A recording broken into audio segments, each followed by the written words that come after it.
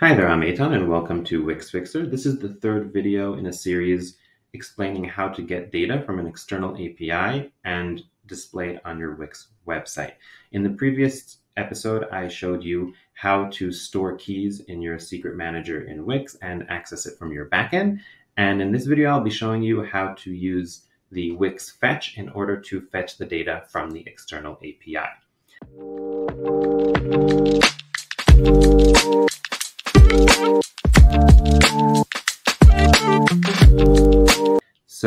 I'm going to go to our fetch documentation for Wix. And you see here that the first thing I need to do is import fetch. So I'm going to do that right over here. And I am here in the back end of my website. So this is public backend, and this is a special, special module that I created for this function. And this is where I already showed how to get the private uh, API key. If you didn't see that video, uh, you can just check it out. It's the episode before this. So I'm going to import the fetch here on the top level.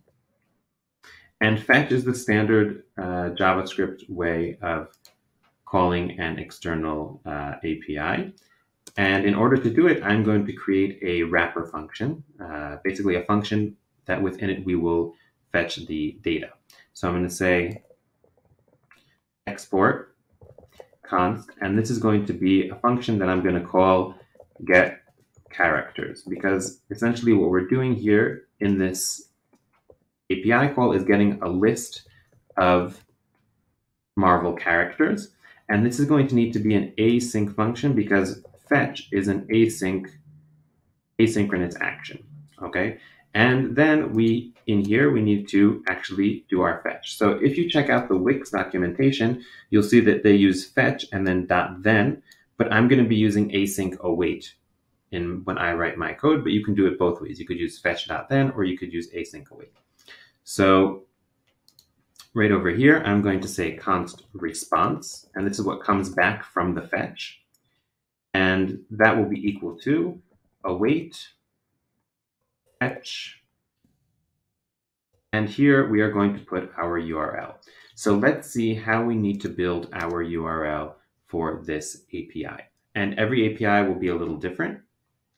Uh, but in general, what we'll have is, let me find that documentation that we need over here. So we need the service endpoint. Okay, so this is basically the domain that we're going to be using for the API. So I'm going to copy that over and just paste it right over here. So I'm going to make a new constant. I'm going to call it URL. I'm going to say that this for now is equal to our, and I'm going to make this a secure call. So I'm going to erase the parentheses here in front of the S, gateway.marvel.com. And then what we need to do is add here the slug for the specific uh, API that we want to call. So if we take a look here at the documentation. What we're going to be using here is this public characters, and this basically fetches a list of Marvel characters. And this is a get call. So I'm going to click here to see the full documentation here. And for our URL, basically all we need to do is copy over this v1 public characters. Okay, so I'm just going to copy it from right over here. And it's copying it here with the get. So I might need to erase that. But uh, let's just paste it right over here. And I'm just gonna get rid of that get. And there we go. Okay, so this is the URL that we're going to need to call. But we also need authorization, basically a way of telling our um, API that we are the person that we are that's calling the API because usually these APIs will either limit the amount of calls you can make or they'll charge you money if you make a certain amount of calls. And there are different methods of authorization. And if you take a look at the fetch documentation here in uh, Wix, then you can see that there's something called options. So except for our URL, we can also pass options. And this could be the method. So the method could be get, post, patch, etc. And if you're using get, uh, as it says here, it defaults to get. So you don't need to write get. But if we were doing a post, for example, we would need to write post. Uh, and headers are often a place where we pass the authorization. So a certain API might require you to pass authorization through the headers. And if you're doing a post, then you'll have a body. Uh, so these are just different options that you can add. And the way you'd add them is by adding them right beside your URL over here in an object. But this specific API doesn't require options, and instead it has a different, different method of authorization, which is by using query params uh, or parameters. So if you see over here, we have uh, three parameters that we need to pass in with our API call. One is a timestamp um, or some long string. So basically it's just a string. For example, here they use one. So that's what I'm going to use as well in our case. So I'm just going to create another constant over here.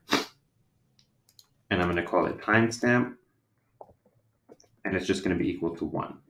Okay, you can make it something more complicated, complicated if you want to make your API call more secretive, but since this is just a demonstration, I see no need to do that. And the next thing that we're going to need, sorry for jumping around here, is our API key. And in this case, this API key is the public key. Okay, user with a public key of 1234 and API key is the public key. So I'm going to need to add the public key here also as a constant. Public key.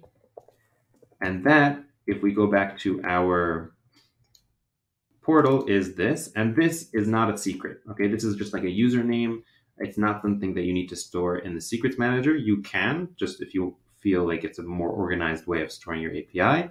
But uh, I'm just going to paste that straight into our backend code as a string. Okay, so we have our timestamp and our public key. And the next thing that we need to do is to create a hash. And this is something unique to this specific API. And if we take a look at the documentation here, it says that we need to create a hash using an MD5 digest. Okay, so this is a specific way of hashing um, a string, and another API may not require require any kind of hashing, or it may use a different kind of uh, encoder or something like that. And what I'm going to do in the next video is show you how to install a external npm package and to create this hash. But for now, I am just going to go over here and I'm just going to say that we need a hash. So I'm going to say let hash. And for now, I'm not going to populate that hash. And now let's add these to our URL. So we're going to have here, first we're going to have, the way we add queries is by doing question mark, and then we say the name of the query. So we had timestamp, and since I'm using a template literal here, I could just say equal and write timestamp here. And then we add more query params using the and symbol. So and, and then the name of the parameter here was API key. Okay, so I'm just going to copy that over. And then here I'm going to store, I'm going to write our public API key, public key. And last but not least, we have our hash, which was called hash, and that will be our hash. Okay. Then what we need to do is to pass this URL into our fetch.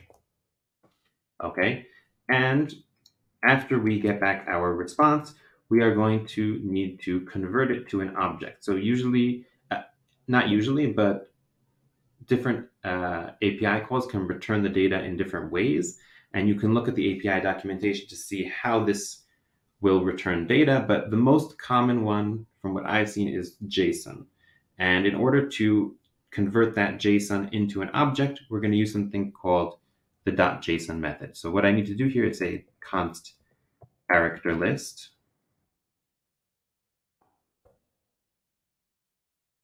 Why did I spell character so weird? Uh, is equal to response.json. And this will convert your response into JSON. And this also needs to have the await key before it because this is also a promise. And then we are just going to console.log our character list. Okay, so this is the basic way that you will set up a fetch. And again, I'm going to tell you in advance, I'm going to run this code and it is not going to work because we haven't created our hash yet, which is what I'm going to show you in the next video. But I just want to show you how it looks when we call the API. So I'm going to run this code and the API was called and this is our response.